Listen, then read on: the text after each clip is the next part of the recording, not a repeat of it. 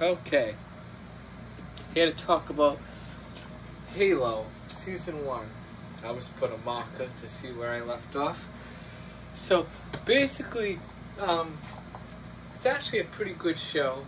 Although, um, I gotta say, this kind of, they put a lot more into this compared to other TV shows based off of a video game and stuff because the backgrounds don't look really fake like everything else does.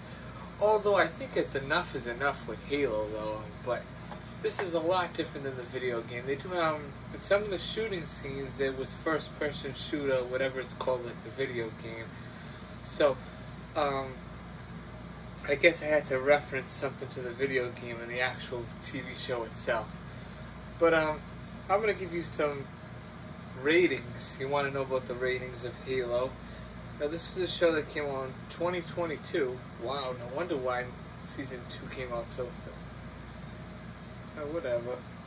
Okay, with Galaxy on the brink of destruction, Master Chief John 117 leads his team of spies against the alien threat known as the Covenant.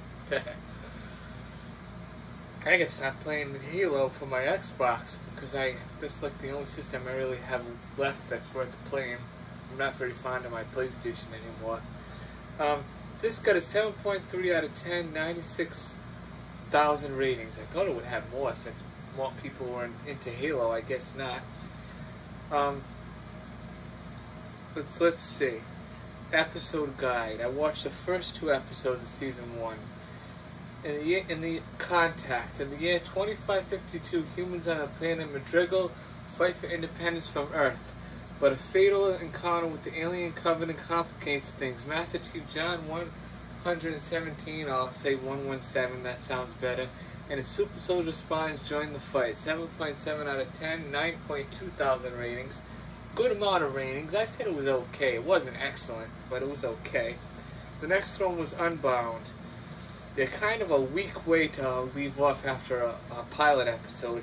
John takes Kwan to an old friend and learns more about the mystery object with the Covenant and the Makee. Uh, sounds like Star Trek. McKee, but it's spelled differently. There's no Q in it. It's M A K E E. Are determined to steal. With the alien threat growing, Dr. Halsey has planned to deal with uh, John's unpredictable behavior.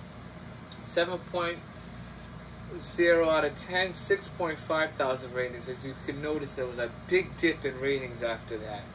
And then it just keeps going down every episode of the season almost. So, basically what I'm going to tell you is, is that this is a pretty good show, but it's something that's on Paramount Plus. So you were lucky you even received a 4K release for this. A lot of people don't understand what it's like to get releases for TV shows like this. Like you're very lucky. Um, the season two got a release too, but most of the shows that go on something like Paramount will never see a release in any day or any day because it's just they're, they're not going to make any money off of it. So I would grab this while you still can. The Steelbook is still buyable on season one. You could, I bought it off of Target. It was the only website I could find it. Um, you probably can buy it off of eBay too, but you probably pay more money. Um, season two you can pre-order. It comes out the end of this month. Although when I pre-order it, it's telling me it's going to give it to me in December. Must be some glitch. It always changes at the last second. Alright, that's it. Bye-bye.